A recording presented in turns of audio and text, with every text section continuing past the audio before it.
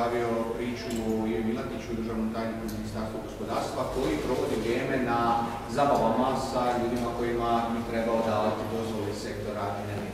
Je li sukob? Je, čisti, nedvosmisleni. Samim time što je vjerodostojnost obavljanja svoje funkcije i nepristranost u obnašanju onoga što spada u njegov djelokrug rada i nadležnosti doveo u pitanje.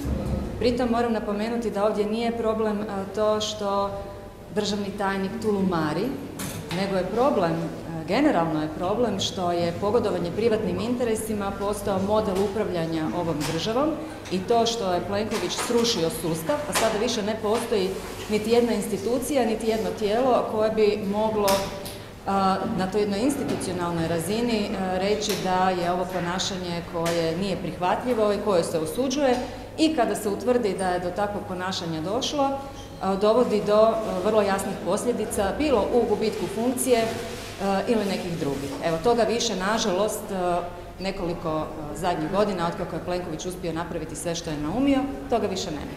U posljednje vrijeme je baš ministarstvo gospodarstva nekako ovako e, simptomatično ima dosta ovakvih afera i sukoba interesa i pogodovanja. znači li to da sa smjenom ministra se problem nije riješio? Pa problem se neće e, riješiti dok se ne smijeni HDZ. Po logici stvari u Ministarstvu gospodarstva će uvijek biti najviše korupcijskih e, rizika jer je to ministarstvo gdje se dodjeljuju poslovne e, prilike svugdje gdje se odlučuje o stupanju u poslovni odnos, o dodjeli subvencija, o dodjeli bilo kakvih povlastica ili privilegija od strane javne vlasti, uvijek postoji i nekakav korupcijski rizik. E sad, države koje se žele boriti protiv korupcije imaju preventivne mehanizme da se to na vrijeme spriječi i imaju učinkovit mehanizam kažnjavanja kada se dogodi nešto ovako neprimjereno. Hrvatska je institucionalno srušena. Točka. Nema više niti učinkovite prevencije. Naše povjerenstvo za odlučivanje o sukobu interesa više niti ne može reći da je neka situacija sukob interesa pa osuditi bilo kojeg političara zbog povrede načela djelovanja. Iluzorno je očekivati da će to napraviti nekakvo etičko povjerenstvo na razini vlade u kojem je Plenković postavio neke ministre eto da odlučuju o sukobu interesa jednog od njih. Sad imamo još jednu priču koja pokazuje na može biti sukob interesa, a to je Sudac Turudić i e, preinačena presuda majci Mislava Hermana, HDZ-ovca, koja je bila e, osuđena na 16 mjeseci zatvora, ali onda nakon niza odgađanja uživanja zatvorske kazne, ta kazna preinačena u uvjetnu kaznu.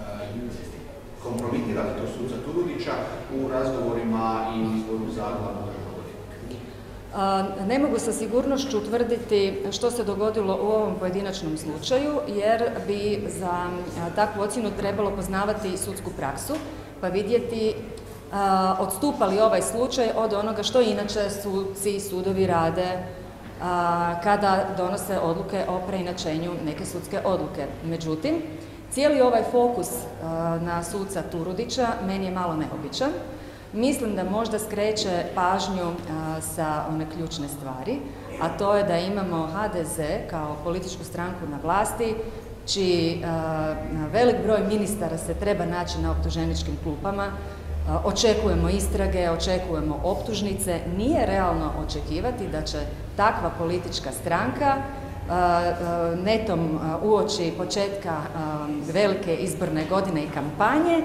izabrati glavnog državnog odvjetnika koji će udarati upravo po njima. Prema tome cijeli HDZ, svi njihovi zastupnici i koalicijski partneri koji bi trebali dignuti ruku za glavnog državnog odvjetnika, tko god to bio, su zapravo u jednom sukobu interesa, a mi više nemamo institucije koja bi to mogla tako otvoreno i jasno reći. Što se tiče ostalih protukandidata, imamo, imamo mog kolegu odvjetnika kojeg kao odvjetnika cijenim, ali on je u svom životopisu napisao da je za um, HDZ-ov odbor za pravosuđe, dakle za stranački odbor za pravosuđe, pisao čitav niz zakona, pa tako i zakon o sprječavanju sukoba interesa i zakon o državnom odvjetništvu. Je li on kao kandidat u čistom sukobu interesa i krajnje neprimjeren za funkciju za koju je podnio kandidaturu, jest. Prema tome, cijeli ovaj postupak i sa Turudićem i sa ostalim protukandidatima zapravo je jedna farsa, nešto o čemu bi i predsjednik države, ali i opozicija trebali obavijestiti i međunarodnu javnost, i Greko, i Europsku komisiju, i druga međunarodna tijela, jer je ovdje očito došlo do grubog potkopavanja neovisnosti i funkcioniranja pravosuđa. Jeste li su objavljeni svi kandidati? Jesam. Ima li netko od njih ko, ko vam je možda bolji ili? Za početak nije mi prihvatljiv proces izbora. Ovog trena apsolutno mi nije prihvatljiv zbog situacije u kojoj se nalazi HDZ kao politička stranka. Ne bi mi bilo prihvatljivo niti da ostavimo ovaj model po kojem se glavni državni odvjetnik bira običnom većinom i oporba će biti u zamci recimo za godinu dana da želimo smijeniti na primjer Turudića. Ako ćemo ponovno birati običnom većinom, ponovno ćemo budućeg glavnog državnog odvjetnika dovesti u situaciju da će se smatrati da je pod pritiskom jer oporba očekuje progon protiv bivših korupiranih HDZ-ovih ministara. Dakle, sporan je proces i zalažem se za izbor glavnog državnog odvjetnika dvotrećinskom većinom. A onda su mi sporni i kandidati koji su svi od reda svjesni konteksta u kojem se biraju, neki od njih su vrlo otvoreno rekli da su i dobili mig da se jave, prema tome u samom startu su sami sebe takvim izjavama diskvalificirali. No, evo, među četvoricom možda blagu prednost imaju oni koji dolaze iz sustava, utoliko što poznaju taj sustav, poznaju rad, međutim sa, sa najavom kako će i čemu će dati prioritet u svom radu, vidi se da nemaju ozbiljnu namjeru uhvatiti se u koštac sa glavnim problemom, a to je politička korupcija i to politička korupcija na najvišoj razini. Prema tome mi i dalje nećemo imati državno odvjetništvo kakvo Republici Hrvatskoj doista treba.